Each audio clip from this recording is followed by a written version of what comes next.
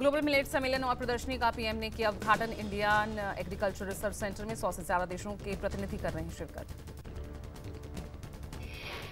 PM ने millet सम्मेलन को किया संबोधित, कहा मिलेट्स की उपयोगिता को समझने के लिए हो रहा सम्मेलन। भारत, बांग्लादेश मैत्री डीजल पाइपलाइन का उद्घाटन। आज वीडियो कॉन्फ्रेंसिंग के ज़रिए पीएम मोदी और बांग्लादेश के प्रधानमंत्री शेख हसीना करेंगे लोकार्पण। पाइपलाइन से दोनों देशों में ऊर्जा सुरक्षा में सहयोग बढ़ेगा। भारत और बांग्लादेश के बीच सीमा पार, पहली ऊर्जा पाइपलाइन है।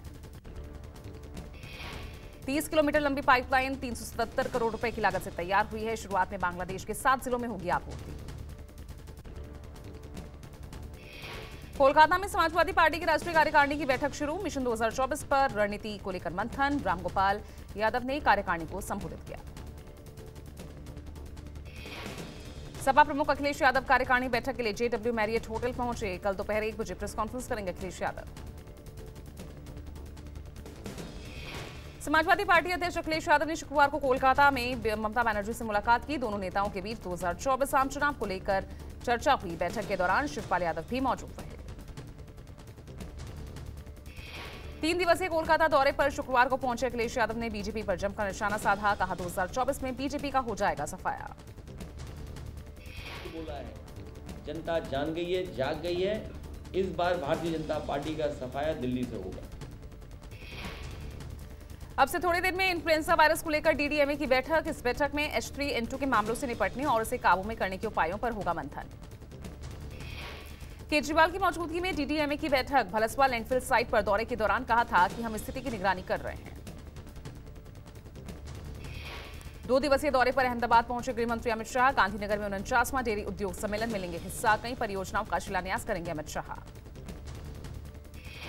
दौरे के दौरान शाह सिविल अस्पताल में निशुल्क भोजन अभियान का शुभारंभ करेंगे। जिला विकास समन्वय और निगरानी समिति की बैठक करेंगे शाह।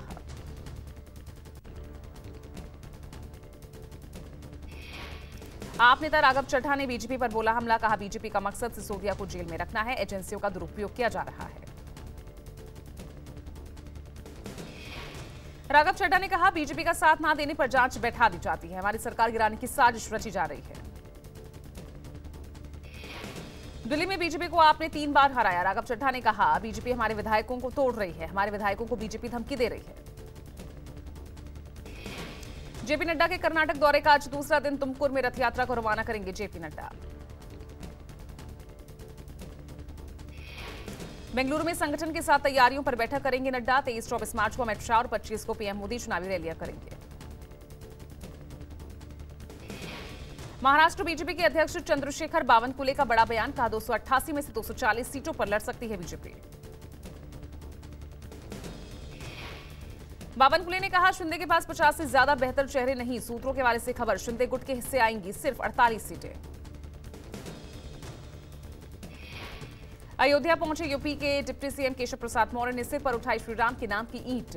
ईंट उठाकर बेहद भावुक नज़र आए केशव प्रसाद मौर्य। अयोध्या दौरे के दौरान मौर्य ने राम के भव्य मंदिर निर्माण कार्य की प्रगति को देखा, कहा, आज राम मंदिर का सपना साकार हो रहा है। अयोध्या पहुँचे केशव प्रसाद मौर्य ने हनुमानगढ़ी जाकर दर्शन महाबली, हनुमान का दर्शन पूजन किया। ट्रस्ट के सचिव चंपत राय से मुलाकात कर सभी पहलुओं पर जानकारी दी बागेश्वर धाम के बाबा धीरेन्द्र शास्त्री का मुंबई में प्रोग्राम शुरू। मुंबई में दरबार लगाने पर कांग्रेस के नाना पटोले ने बाबा के खिलाफ खोला मोर्चा। नाना पटोले ने शिंदे को पत्र लिखकर जताई, आपत्ति कहा, महाराष्ट्र एक प्रगतिशील राज्य है, अंधविश्वास फैलाने वाले व्यक्ति का राज्य में कोई स्थान नहीं।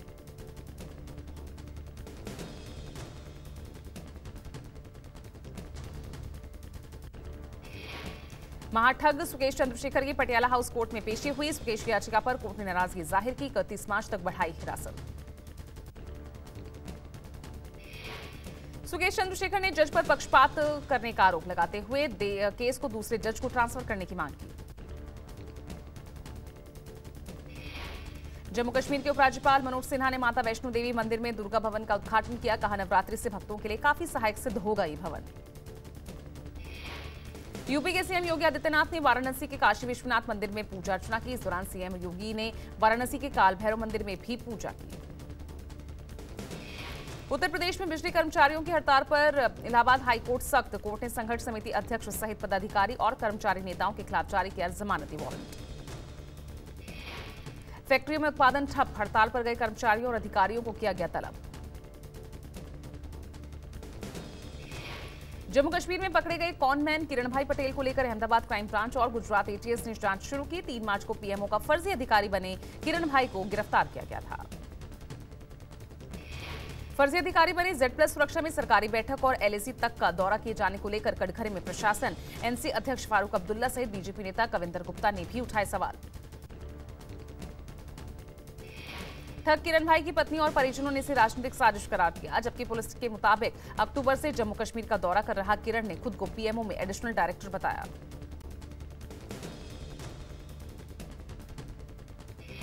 पंजाबी सिंगर सिद्धू मूसेवाला की हत्या के मास्टरमाइंड गैंगस्टर लॉरेंस बिश्नोई ने एक बार फिर जेल से इंटरव्यू दिया। बिश्नोई के दोबारा इंटरव्यू देने से पंजाब पुलिस के दावों की पोल खुली।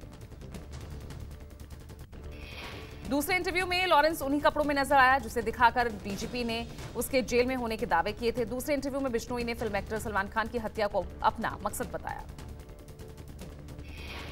लॉरेंस बिश्नोई ने 14 मार्च को भी एक टीवी चैनल को इंटरव्यू देकर सनसनी फैला दी थी। गैंगस्टर के जेल से इंटरव्यू को लेकर हमलावर विपक्ष सीएम भगवंत मान की इस्तीफे की मांग कर रहा है। राजस्थान के श्रीगंगानगर में ग्वांग गैंगस्टर लॉरेंस बिश्नोई के भाई अनमोल बिश्नोई के दो गुर्गे गिरफ़्तार। अनमोल बिश्नोई ने एक बिल्डर को दी थी धमकी।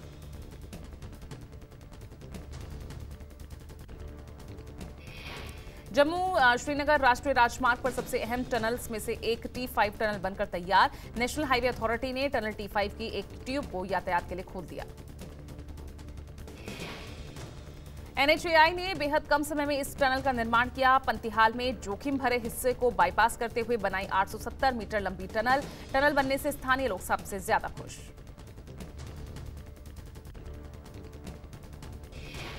जम्मू कश्मीर में एनजीओ ने लिथियम भंडार की खोज पर पहले इंटर कॉलेज बहस का आयोजन किया। कार्यक्रम में बहुत बच्चों ने भाग लिया। राजस्थान के हनुमानगढ़ में वायुसेना के विंग कमांडर राजेंद्र गोदारा का इलाज के दौरान निधन। विंग कमांडर की इक्कीस फरवरी को दिल्ली में दुर्घटना हो गई। राजस्थान के कोटपुतली में नए ज़िले की घोषणा के बाद कोटपुतली में लोगों ने जश्न मनाया। लोगों ने आतिशबाजी कर खुशी ज़ाहिर की।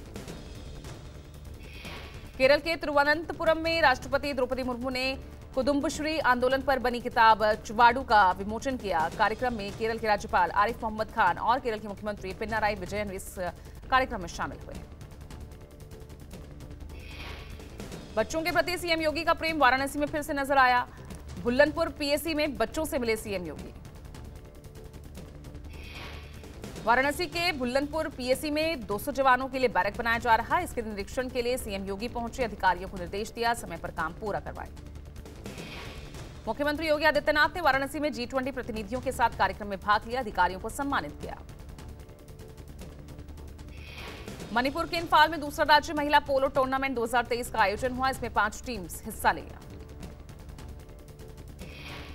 दिल्ली एनसीआर में मौसम दिल्ली करवट, दिल्ली से नोएडा तक हुई हल्की बारिश, अब अगले दो दिन दिन तक ऐसा ही मौसम रहने का अलर्ट जारी। गुजरात में मौसम का बदला मिजाज, राज्य के अरावली और तापी में भारी बारिश और ओलावृष्टि। गुजरात की अरावली में भारी बारिश के बाद सड़कों पर जलभराव देखने को मिला। वाहनों की आवाजाही प्रभावित हुई। राजस्थान में आफत की बारिश। बारिश के साथ ही ओलावृष्टि से फ़सलों को हुआ नुकसान। यूपी में मौसम की उलटफेर का सिलसिला जारी। मौसम विभाग ने प्रदेश के 33 जिलों में बारिश और ओलावृष्टि का अलर्ट जारी किया। ललितपुर और झांसी में बारिश के साथ गिरे ओले। ललितपुर में 30 मिनट में इतने ओले गिरे कि ज़मीन पर सफ़ेद चादर की परत जम गई। ओलावृष्टि से प्रभावित किसानों को योगी सरकार ने दी राहत। आपदा से हुई जनहानि में प्रभावित परिवारों को चार लाख रुपए सहायता देने का ऐलान। तोशाखाना मामले में इमरान खान की आज पेशी। खबर है कि लाहौर से इस्लामाबाद के लिए रवाना हो गए हैं इमरान खान। कल इस्लामाबाद हाईकोर्ट ने पुलिस को इमरान को गिरफ़्तार करने से रोक दिया था, क्योंकि उन्हें निचली अदालत में पेश होना था। पाकिस्तान के पूर्व पीएम नवाज़ शरीफ की बेटी मरियम नवाज़ ने इमरान खान की पार्टी पीटीआई को बताया आतंकी संगठन। डब्ल्यूएचओ ने कोरोना की रिपोर्ट पेश नहीं करने को लेकर चीन को फटकार लगाई, कहा चीन ने अब तक कोरोना का डेटा उसका खुलासा क्यों नहीं किया?